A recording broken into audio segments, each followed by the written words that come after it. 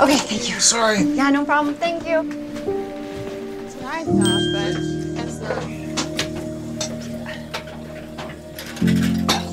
This is our new house? Hi, nice to meet you. Hey, Pops. I want to show you guys something. Mom, Dad, this is for you. Did you two know about this?